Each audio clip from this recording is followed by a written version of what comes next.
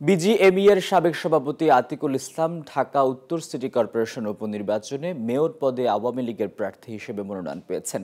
শনিবার সন্ধ্যায় আওয়ামী লীগ সভানেত্রী ও প্রধানমন্ত্রী শেখ হাসিনার সরকারি বাসভবন গণভবনে দলের স্থানীয় সরকার মনোনয়ন বোর্ডের বৈঠকে তাকে মনোনয়ন দেওয়ার সিদ্ধান্ত নেওয়া হয়। বাংলাদেশের তৈরি পোশাক শিল্প মালিকদের সংগঠন বিজিএমই এর সাবেক সভাপতি আতিকুল ইসলাম আগেও ঢাকা উত্তর সিটির উপনির্বাচনে আওয়ামী লীগের মনোনয়ন পেয়েছিলেন। আনিসুল হকের মৃত্যুতে এই সিটির মেয়র পদ শূন্য হওয়ায় নির্বাচন কমিশন গত বছরের নয় জানুয়ারি উপনির্বাচনের তফসিল ঘোষণা করে। তবে উচ্চ আদালতের রিটের পরিপ্রেক্ষিতে তা স্থগিত করা হয়। সম্প্রতি ওই রিট খারিজ হলে নির্বাচন কমিশন আবারও উপনির্বাচনের তফসিল ঘোষণা করেছে।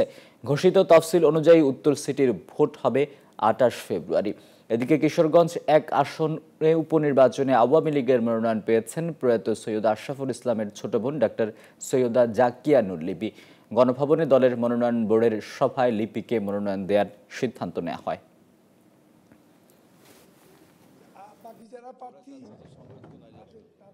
কিশোরগঞ্জ এক সৈয়দ আশরাফুল ইসলামের মৃত্যুজনিত কারণে এখানে আসন শূন্য হয়।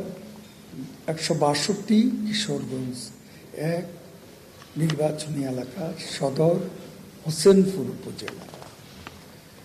এখানে সাতজনের মতো মনোনয়ন চেয়েছিলেন এবং তাদের সবাই যোগ্য ব্যক্তি।